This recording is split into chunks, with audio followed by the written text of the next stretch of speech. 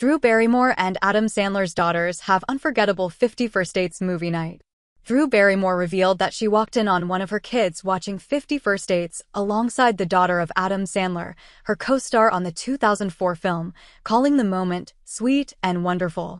Drew Barrymore and her 50 First Dates co-star have blended their households.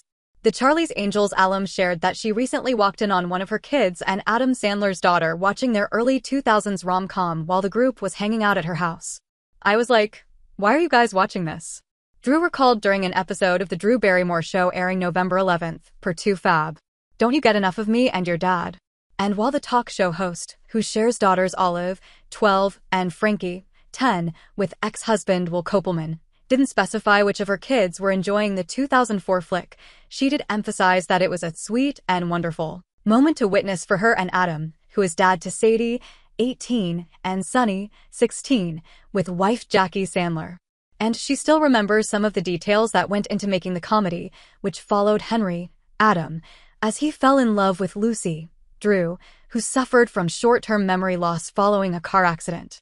In fact, Drew previously revealed that the movie was supposed to be called 50 First Kisses and had been written with a totally different ending. The original ending was her saying, you should go and live your life, because this is no life here, she said on an August episode of The Drew Barrymore Show.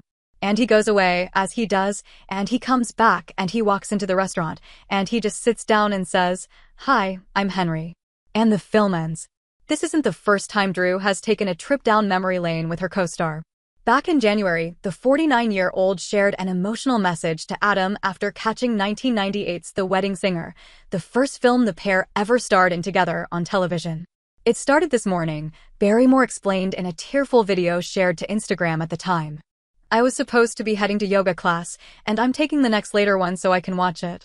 Addressing Adam directly, Drew added, We made such a good movie. I love you so much. Happy New Year and the Happy Gilmore star was touched by her nostalgia, commenting under the post, Love you always, Drew. For more sweet moments with Adam and his kids, keep reading. September 2007. Adam Sandler and wife Jackie Sandler took their baby girl Sadie Madison Sandler, born in May 2006, to a red carpet charity event hosted by Courteney Cox at the Santa Monica Pier. The carnival event benefited the EB Medical Research Foundation.